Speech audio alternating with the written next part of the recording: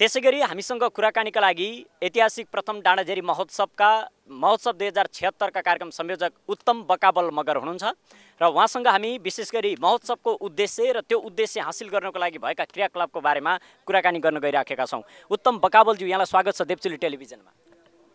धन्यवाद डेपचुली टेलिभिजनका पत्रकार मित्रहरू र आज यो डाँडाझिरी गणेकोट विकास समाजको आयोजनामा गरिएको डाँडाझिरीको ऐतिहासिक प्रथम महोत्सवमा सम्पूर्ण दर्शकहरूलाई म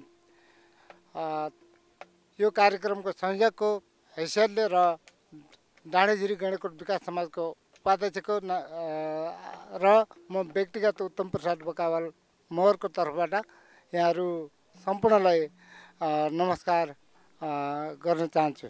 जस्तो महोत्सव गर्नुको मुख्य उद्देश्य के रहेको थियो तपाईँहरूको चाहिँ? हजुर हाम्रो महोत्सवको मूल उद्देश्य भनेको यहाँको डाँडेझिरीमा रहेका लुकेका ऐतिहासिक ठाउँहरूलाई राष्ट्रिय स्तरमा चिनाउने र अन्तर्राष्ट्रिय स्तरमा चिनाउने र पर्यटक भित्र्याउने लगायत हामीले यो महोत्सवको मूल उद्देश्य राखेकी छौँ भने त्यसमा साथसाथै हामीले यो महोत्सवले जति मौसममा जति अ, इन्कम हुन्छ आम्दानी हुन्छ त्यसको इन्कमबाट बचत रहेको पैसाले हामीले यहाँका स्थानीयहरूलाई उपचारको क्रममा हाम्रो यो यो पहाडी भेगमा हस्पिटलको व्यवस्था नहुनाले अक्कलमै ज्यान जानेहरूलाई समयमा हस्पिटल पुर्याउन सक्ने हामीले एम्बुलेन्स खरिद गर्नको लागि हामीले पहिल्यै पनि हामीले उद्घोष गरिसकेको छ र हाम्रो मुख्य उद्देश्य पनि त्यो पनि हो।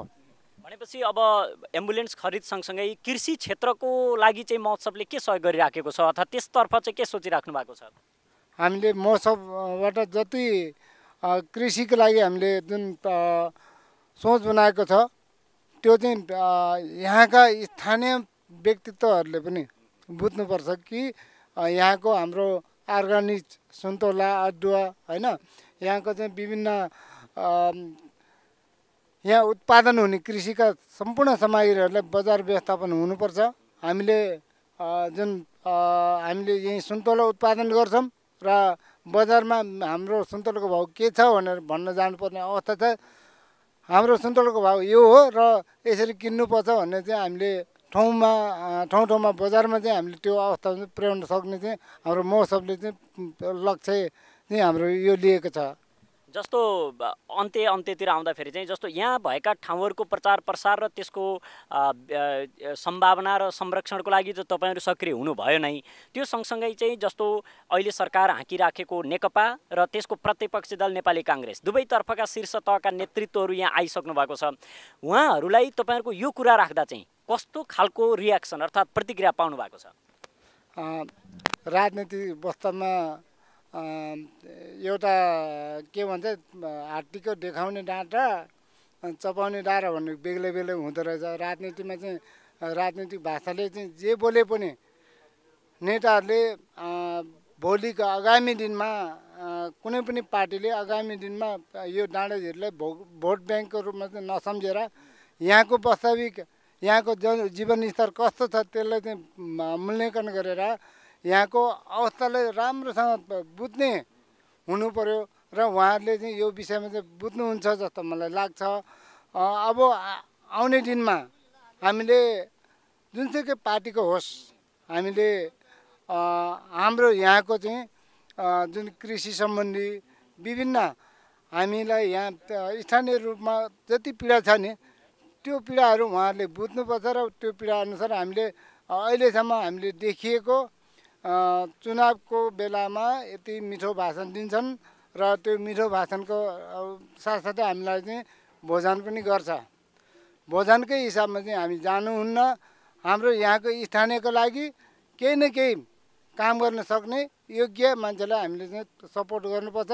मैले चाहिँ हाम्रो डाँडेझिरी मात्रै होइन बुढितर हल सब सम्पूर्ण नेपालीहरूले एउटा योग्य र देशको लागि साँच्चैकै काम गर्ने रास्ता बाटोको नारा दिने तर चाहिँ रास्ता घाटीको काम चाहिँ नगरोस् त्यस्तो नेताहरू चाहिँ हाम्रो नेपालमा आवश्यकता छ।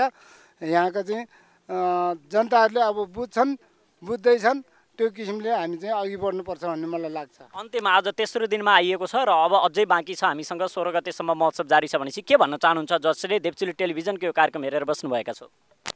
अब हामी यो महोत्सव जति उत्साहित रूपमा चाहिँ हामीले यो आयोजक डाँडे हेरीले आयोजक टिमले जति उत्साहित रूपमा काम गरेको छ र यहाँको दर्शकहरू पनि उत्तिकै उत्साहित रूपमा आउनुभएको छ र अझै आइराख्नुहुन्छ र आइराख्नुहोस् भनेर म यहाँ हाम्रो जुन लक्ष्य र हाम्रो उद्देश्य छ त्यसलाई चाहिँ समाधानको लागि उहाँहरूले अवश्य बुझ्नुहुनेछ।